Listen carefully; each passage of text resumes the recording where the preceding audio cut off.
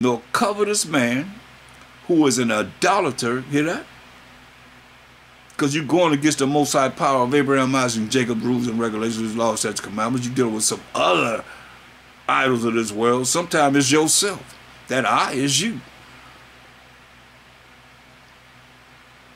Have any inheritance in the kingdom of Mashiach Yahushua and of the Most High. Understand this. That's why Revelation 22 15. For without, this is without the kingdom, are dogs. You know, dog is a, a word used for the Gentiles by the Israelites because of their profaneness, probably said probably a reference to homosexuality in the New Unger's Bible Dictionary. And sorcerers, witches, psychics, and so forth, palm readers, you name them. And whoremongers, like he just we just read. Those just sleeping around, no commitment, or commit and then say it don't matter, and still sleeping around with other people, whoremongers, sloppy first, sloppy second, sloppy thirds, whatever, just going from person to person to person, whoremongers, and murderers, you that don't love your brother, you a murderer, and those that are actually murderers, murdering somebody unjustly, not in self-defense, plotting to kill somebody and kill them, murderers, and you don't know love, you don't love your brother, you a murderer, and idolaters, those that are not keeping the law, such commandments of the Most High, you idolater. And whosoever loveth and maketh a lie, all you liars ain't going to the kingdom. That's without. Look at verse 14. Blessed are they that do his commandments. Don't listen to these poach eating preachers or whatever they eat. Telling you ain't under the commandments, you ain't under the laws of the Most High. Say, blessed are they that do his commandments, that they may have right to the tree of life and may enter in through the gates into the city. Remember the gates. You got a gate on the north, a gate on the south, gates on the uh, gates on the north, gates on the south, gates on the west, and gates on the east. Three gates on the north, three gates on the south, three gates on the east, and three gates on the west. Well, each tribe of the 12 tribes of Israel are going to go through one of those gates. Judah, Benjamin, Levi, Simeon, Zebulun, Ephraim, Manasseh, Gad, Reuben, Naphtali, Asher, Issachar. Hey, going through them gates. You understand? So that's letting you know, hey, Moses ain't got away. He ain't done away with his people.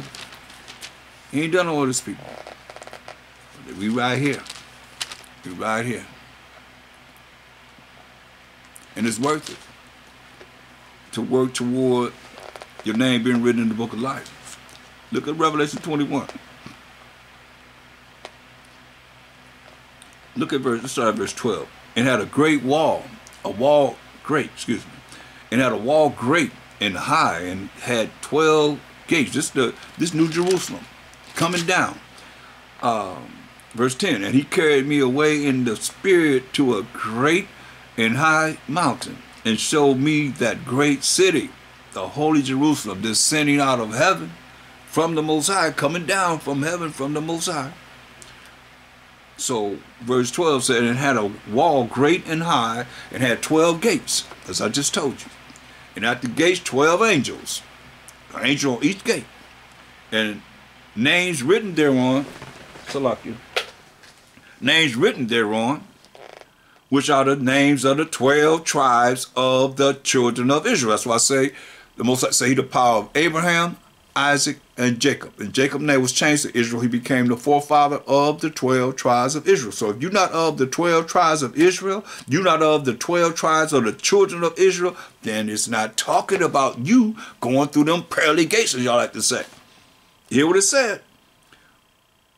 And had a wall great and high, and had 12 gates, and at the gates 12 angels and names written thereon, which are the names of the twelve tribes of the children of Israel. On the east, three gates. Just like I just told you. On the north, three gates. On the south, three gates. And on the west, three gates. That's 12 gates. See? And that means each of the tribes of Israel going to go through their own gate. Either on the north, the south, or the west, or the east. As it is written. It's beautiful.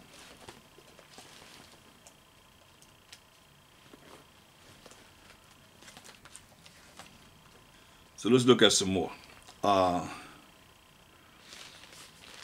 go back to Matthew, the fifth chapter.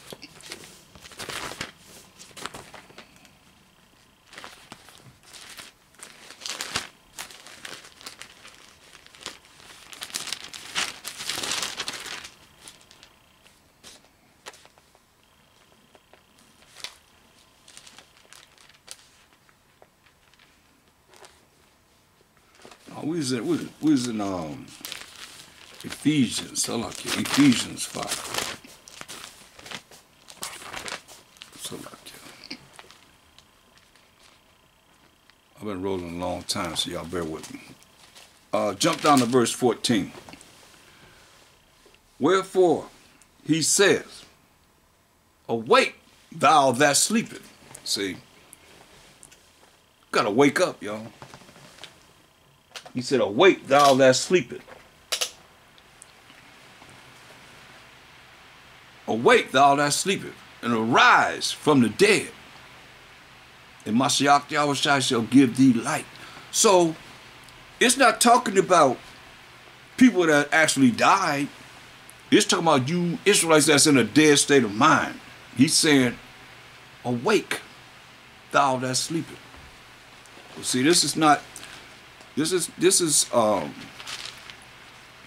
go to Romans 13 and 11. It just says Romans 13 and 11 and that knowing the time that now it is high time to awake out of sleep. You see?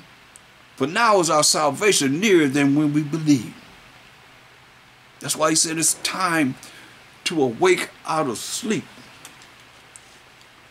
Just a moment.